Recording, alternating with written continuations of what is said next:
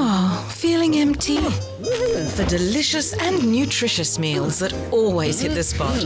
And of course, the world's finest coffees. There's no place like Dome.